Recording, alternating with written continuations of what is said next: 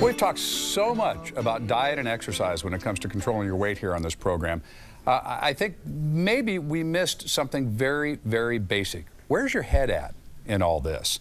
Well, Maggie Wilde uh, not only talks about that, but she's written a book on it. Uh, she calls herself a potentialist. And I, I think you'll understand when you meet Maggie, it's all about reaching your full potential and starting with what's going on up here. So, Maggie, great to see you here this morning. Uh, the book is Mind Potential Unzip the Fat Suit Using Your Mind. Yes. Now, uh, initially, you know, you've had this reaction, I'm sure, how many hundreds of times from folks who go, oh, well, go, come on just using your head. But explain why just visualizing things the way you want them to be as if they already were what that does to your the process. When we go into a state of visualization, which is like a self-hypnotic state, so you're slowing the brain waves down so that we can activate what's called the learning state. So a self-hypnotic state, which is the types of techniques that we teach in this book, is the state in which the brain learns. So when we add feelings and sensations to our visualization, when we activate movement in our body, in our mind,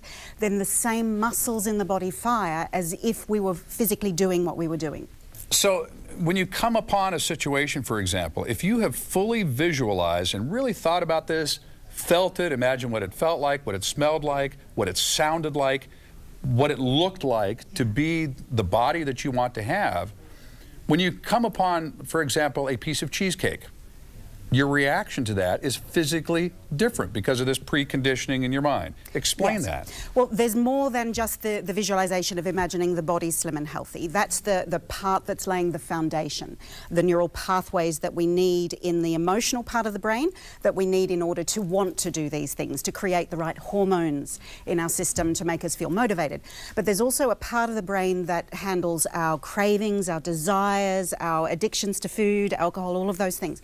And there's there's a technique in the book that we talk about which interrupts those cravings. So the neural pathway, it's like activating a light switch on the wall. When we see the sugar or we see the chocolate or the donut or the whatever it is that we're attracted to, the, the neural pathway that causes the craving and the desire for it is activated. An electrical surge flows through the brain.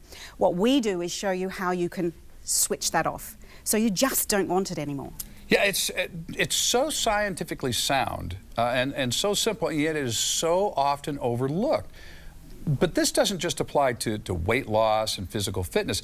This is how we function on a daily basis anyway. Yes. It either happens accidentally or you take charge of it and do it deliberately.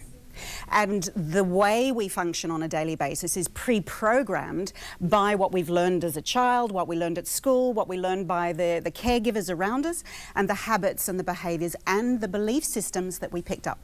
And so each of those things, each of those belief systems and emotions and habits are just neural pathways. They're electrical surges that cause us to feel impulse to do something. And just as we can switch off a craving, we can switch off unhealthy thoughts, sabotaging thoughts, procrastination thoughts. Talk about the sabotaging thoughts for a second, because just the way we uh, self-talk, even if we joke, yeah. Uh, you know, and I do it all the time on the air. I'm, I'm, more guilty of this than anybody else I know, which was just self-affirming. Um, so I'm going to do it yes. again now. We say things like, "Oh my gosh, I'm such a lardo. You know, I really, uh, I need to lose this weight, but I just can't because I, I, just love yes. to eat." Um, even when we're joking, that has an effect long term, doesn't, doesn't if it? If there's an element of you that believes it ah. at the deeper level and there's an emotional connection to it, because that's how the brain rewires when we add emotions and sensations. So if we're trying to portray one thing, but deep down, you know, we're joking about it on the surface, but deep down we're going, it's so true, I'm like that, right. then the neural pathway gets stronger. However, by using the techniques that we're talking about, you can actually switch off the belief that you really believe underneath and create a different one. Again, I, I don't normally endorse things and so forth. I mean, I shy away from that. If I've tried something and I know it works, I, you know, I'll always say that on the air. But this is something that, that I was raised with, yes. and, and this concept, and I, and I have studied this to some degree. I am so thoroughly convinced, you know, that this is really powerful and it's the way to take charge of your life. I'm really going to encourage people to go to your uh, your workshop. Where, where is that? It's this weekend? We're holding it at the Eye of Buddha in San Diego. It's a free workshop from 2 to 4 p.m. on Saturday. From 2 to 4 p.m. on Saturday. The information is up there on the screen.